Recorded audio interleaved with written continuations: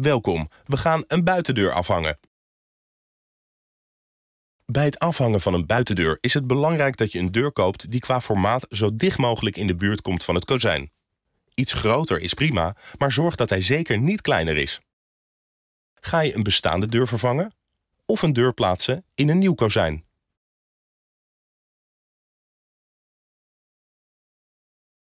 Optie 2.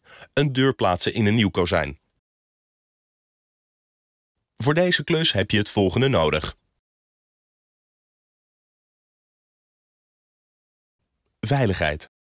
Draag bij het gebruik van elektrische machines altijd gehoorbescherming en een veiligheidsbril. Stap 1. De deur op maat maken. Ga je een deur plaatsen in een nieuw kozijn, dan is het belangrijk dat je het kozijn zo secuur mogelijk opmeet. Meet de breedte bovenaan, in het midden en onderaan. De hoogte meet je aan beide kanten. Mochten de afmetingen onderling afwijkend zijn, houd hier dan rekening mee bij het op maat maken van de deur. Houd bij het plaatsen van de deur de volgende marges aan. Dit zijn handige richtlijnen. Kier bovenzijde 2 mm.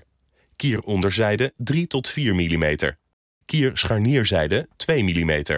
Kier slotzijde 3 tot 4 mm. Teken de afmetingen af op de deur.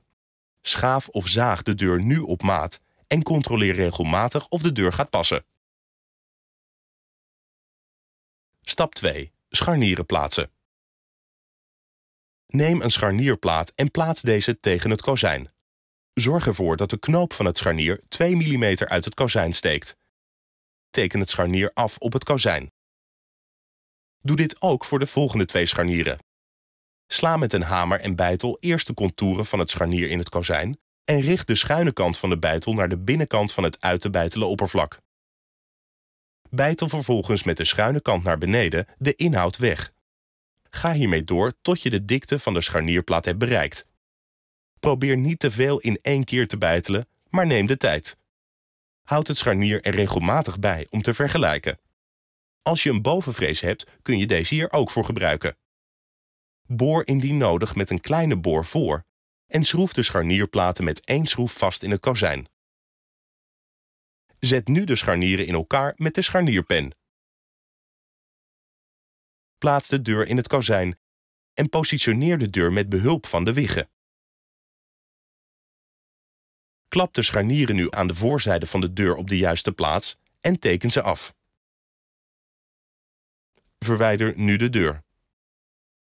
Plaats de losgekoppelde scharnierplaten op de zijkant van de deur en teken deze af. Houd ook hier 2 mm aan tussen de deur en de knoop van het scharnier. Vrees of bijtel nu de scharnieren uit en maak de scharnierplaten met één schroef vast.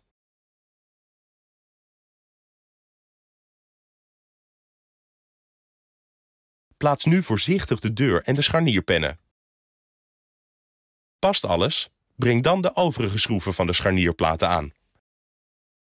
Stap 3. Slot plaatsen. Zit er nog geen gat voor de slotkast in de deur? Zet dan de deur op zijn kant. Bepaal de gewenste positie van de slotkast. Zet de slotkast op de zijkant van de deur en teken de contouren af. Plaats aan beide kanten van de deur waar de slotkast moet komen een plaatje hout en klem deze vast met lijmklemmen. Boor met een speedboor de buitenste vorm voor de slotplaat uit. Teken nu nogmaals de binnenste vorm af van de slotkast en boor deze op dezelfde manier uit. Zit er al een gat voor de slotkast in de deur?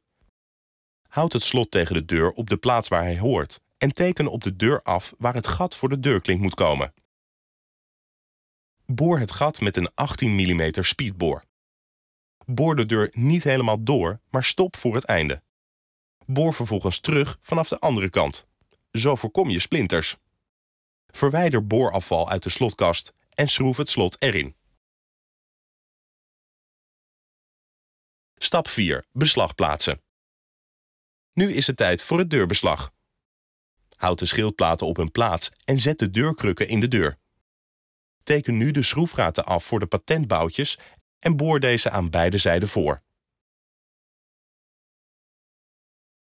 Schroef de schildplaten nu vast en bevestig de deurkrukken. Succes met je klus! Aandachtspunten. Werk zeer nauwkeurig en meet alles goed op. Houd rekening met eventuele nog te leggen vloeren.